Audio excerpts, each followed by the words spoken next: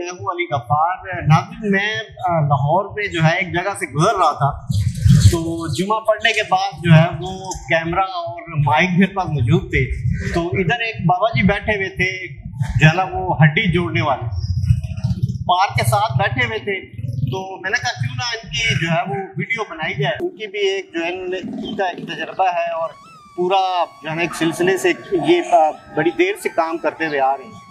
और इस तरह के किरदार आजकल जो है वो इलाज बहुत मॉडर्न हो गया है। इतनी टेक्नोलॉजी आ गई है लेकिन उसके बाद इस तरह के जहाँ पे वो इतनी टेक्नोलॉजी के बाद जो इलाज नामुमकिन हो जाता है उनको ये जो है वो डॉक्टर कहते हैं जी उनके पास लेके जाएँ ये इसको मुमकिन कर सकते हैं। तो आरिफ साहब से मिलते हैं। अस्सलाम वालेकुम साहब कैसे हैं? ठीक ठाक। ठीक है जी? अच्छा साहब ये जो काम आप कर रहे हैं हाँ तो इस ये काम कितना अर्सा हो गया आपको ये गलबन हमारे खानदानी पे है और बचपन से ये काम मैं कर रहा हूँ। हम्म, तो जब मैं अठारह साल का हो जी।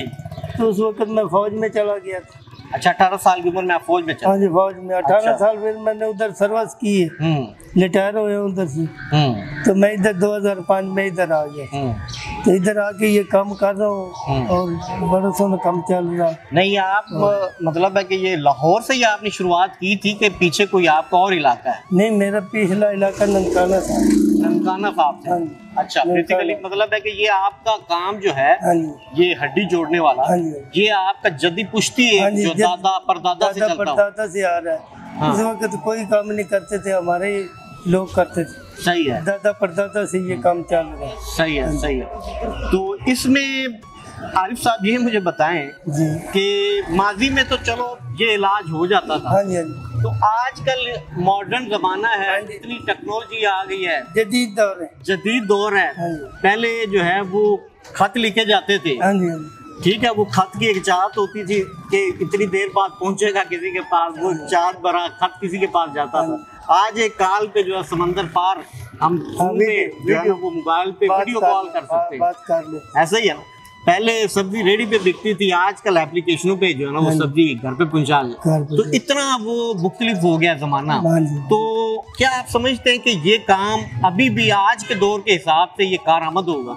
ये आज भी कारआमद है। अब अगर किसी की हड्डी टूट जाती है हम्म। तो वो डॉक्टर फौरी करेगा कि उसमें प्लेट डालेगा। अच्छा। हम इंशाल्लाह बगैर प्लेट के हम्म। वो तीन दिन के अंदर हड्डी जोड़ना जोड़ देंगे। तीन दिनों के अंदर? तीन दिन के अंदर। अच्छा। हाँ जी।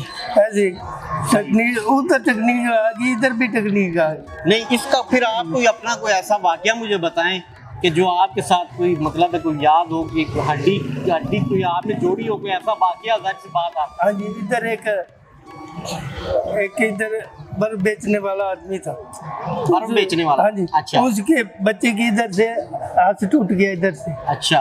उन्होंने पूरा लाहौर उसको फिराया। हम्म। किसी जुरा ने हाथ हाथ नहीं जोड़ा उसको। हम्म। ये असली होती हम्म। मैंने उसकी तीन दिन के अंदर हाथ जोड़ दिया। मैं कह जाओ अभी बता दो अपने। पापा को हाँ। कि हाथ जोड़ गया। फिर तो कारीगरी है ना। हाँ ना। एक बच्चा जंग से आया हमारे हाँ। पास। जंग से आया और जनरल अस्पताल में ले गए। हाँ। उसके इधर मांस फंसा हुआ था वो चल फिर नहीं सकता था। अच्छा। और डॉक्टर के पास गया उसने कहा ऑपरेशन करके मांस निकालेंगे हड्डी के अंदर मांस फंसा हुआ हम्म। तो मेरे पास ले आए। उन्होंने कहा अभी आप देखें इसको। मैं कहा ठीक है मैं तीन दिन के अंदर इसका मांस निकालूँगा। मैंने तेल की मालिश की तीन दिन के अंदर बच्चा चलने फिरने लग गया। वो चंग से इधर लेकर आए। क्या बात है। क्योंकि चंग में डॉक्टर नहीं थे। अब लिए तो मेरे से भी अच्छे अच्छे डॉक्टर हम्म। अगर हड्डी टूट गई है हाँ तो किस तरह की मतलब हर तरह की हड्डी आप मतलब है कि उसको जोड़ सकते हैं या कोई मखसूस तरह की कोई अगर नॉर्मल टूट जाए उसको आप मतलब है कर सकते हैं? नहीं जी जिस तरह की भी टूट जाए उसको जोड़ना है। हमने जोड़ देते हैं। हम्म। जोड़ कर पट्टी कर देते हैं। सही जुड़ जाती है। लाल कोई गोली जोड़ी होती है वो पाते हाँ। तो वो तीन दिन के अंदर जुड़ जाती तो इसमें ये जो आपने आगे चीज़ें रखी हुई हैं है ये कुछ तेल है सरसों का ये छोटी छोटी छोटी सी डब्बियाँ हैं ये बताएँ जरा क्या है? ये तेल है जी। ये मैं सौ रुपए की बोतल देता हूँ जिधर सट लगी हो दर्द हो हम्म। चोट लग जाए ये लगा दें इंशाल्लाह दो दिन के अंदर ठीक हो जाता अच्छा दो दिन के अंदर ठीक हो जाता ये तेल मतलब है किस चीज़ का तेल है कैसे बना ये है हम सांप का तेल बनाते हैं। सांप का? और चीज़ों के तेल बनाते हैं निकालते अच्छा ये सांप का हाँ तेल अच्छा सही हो गया। ये देखो ये सांप ये सांप की चर्बी पड़ी ये सांप की खल पड़ी है। ये सांप हाँ ये ऐसी चीज़ों से हमें हम्म। निकलती है चर्बी जो के कारामद नाजरीन ये देखें ये सांप की खाल भी पड़ी पहले मुझे नहीं पता था कि सांप की खाल है। ये तो ये आरिफ साहब ने बताया जी ये सांप का तेल है। हाँ तो ये क्या सांप के तेल में क्या इसमें क्या इसमें और दवाई भी डालते हैं और भी दवाइयाँ डल के तो डाल वो के जड़ी बूटी डालते हैं डालकर तेल हम तैयार करते हैं और तेल कारामंद होता है। कारबद होता है सही है मुझे 20 साल हो गए 2005 में मैं रिटायर हुआ 20 साल हो गए मुझे इधर बैठे। हम्म। अभी तो माशाल्लाह मेरे बच्चे भी जवान हो गए। माशाल्लाह बेहतरीन है।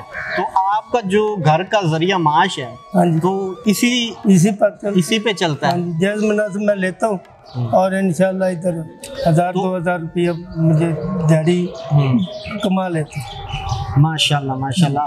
अल्लाह आपको और जो है वो इस्तेकामत दे और इसमें आपके काम में बरकत डाले।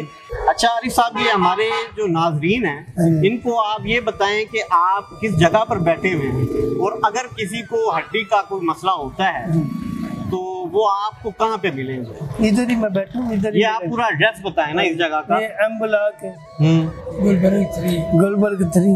M block नाजरीन गुल बाबड़ा मार्केट है हाँ। गुलबर्ग थ्री में वापडा मार्केट एम ब्लॉक में जो है ये आरिफ साहब पार्क के साथ जो है वो बैठे होते हैं। किसी का कोई हड्डी का कोई मसला है हाँ तो वो इधर जो है वो आ सकता है। हाँ क्योंकि ये इनका एक बहुत जो है ना वो लंबा एक जद्दी पुश्ती और हाँ। दादा परदादा से काम करते हुए आ रहे हैं। हाँ तो अगर कोई मसला है तो आप पहले तो रब पर भरोसा करें। हाँ उसके बाद आरिफ साहब पर करें तो इंशाल्लाह आप वो आपका हड्डी का और हर तरह का जो है वो मामला सेट हो जाए सेट हो जाए तो अरफा बहुत शुक्रिया आपका वक्त देने का। इनशाला फिर जब मुलाकात होगी अगर गुजरेंगे तो